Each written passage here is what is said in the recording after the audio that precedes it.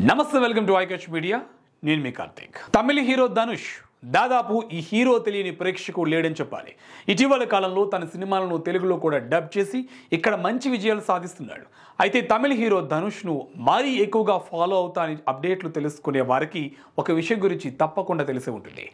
Hero Dhanush identity విషయంలో జరిగిన గందరగోళం.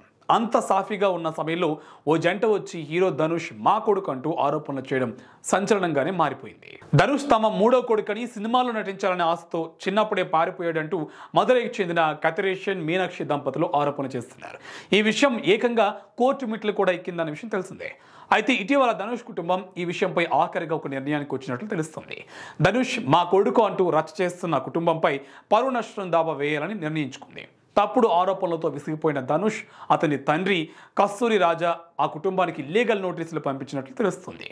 ఇన్నాళ్ళు పాటు ఆరోపణలు చేసి రచ్చరచ్చ చేసి ఇక మా పరువుకు భంగం కలిగించేందుకు గాను బహిరంగ క్షమాపణలు చెప్పాలని లేదంటే పది కోట్లు పరువు నష్టం దావా ఎదుర్కోవాల్సి ఉంటుందంటూ ఆ కుటుంబాన్ని హెచ్చరిస్తూ లీగల్ నోటీసులు పేర్కొన్నారు.